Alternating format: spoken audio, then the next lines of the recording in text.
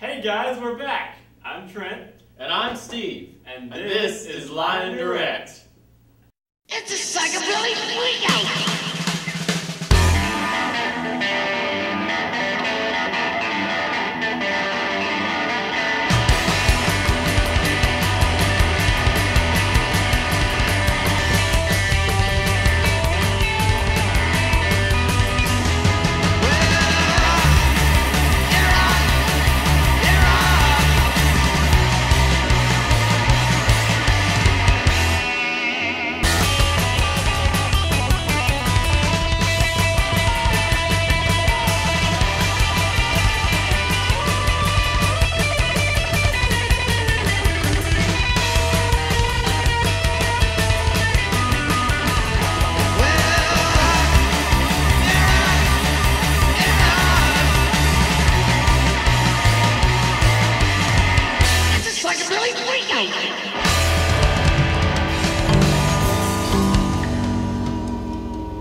Lion Ledger isn't the same old newspaper anymore. Go online and check out our new features, including Plan Your Life and The Lion's Roar, our online tutoring service.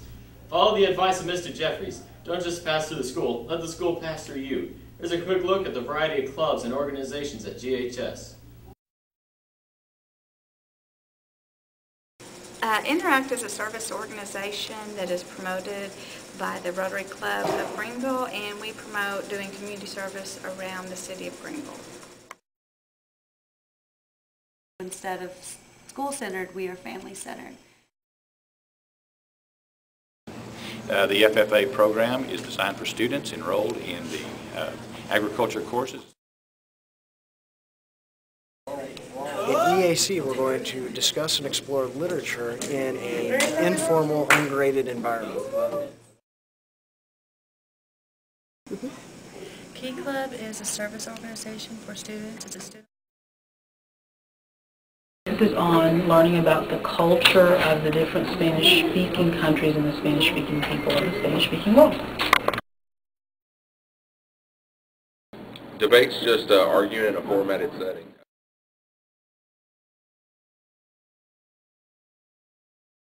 Another feature on Lion Ledger is the notebook. We have a place for local students to show off their artwork. And on Lion Direct today, we want to feature the artwork of Gabrielle McCormick. This is Zach Fawcett with Gabrielle McCormick asking her about her inspiration on art. Hi, Gabrielle. How are you? I'm fine. What is your artistic background?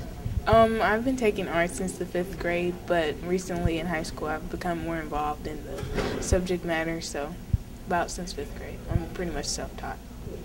And uh, when did you decide to sell your art? Um, this summer actually, when I was uh, needed some money, so I decided to do something to get a little extra cash, and it's something I love to do, so it was no problem. So I decided to sell um, around June.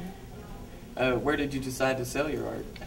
Um, I kept seeing flyers about Rally Around Greenville, and so I um, decided to get involved with that, and I participated in that, and I'll have a web page coming soon, so people can look out for that.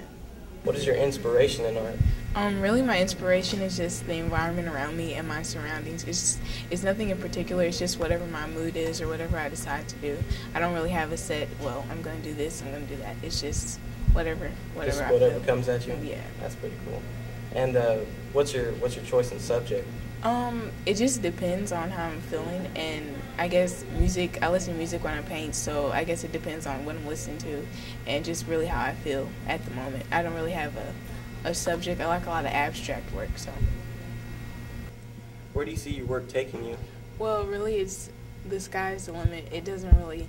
I don't have a set goal that I'm really trying to achieve. achieve, but um, it's wherever wherever it takes me. That's that's where I'll end up. This is Zach Fawcett with Gabrielle McCormick on Inspirations of Art. Back to studio.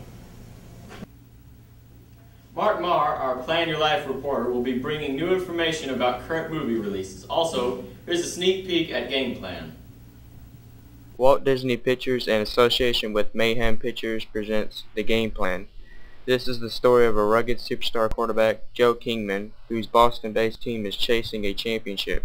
Kingman, a bachelor, is living the ultimate fantasy. He's rich, famous, and the life of the party, but his dream is suddenly sacked for a loss when his seven-year-old daughter that he never knew he had shows up at his door. In theaters October 5th. Needless to say, there's quite a bit of anxiety building over the release of Halo 3. There's a midnight release at Hastings. See you there. I know I'll be there. Well, this was fun. Our first show, and we already have the next one in the works. Make sure you keep up with all the news happening in the school with Lion Direct and Lion Ledger and on-screen announcements.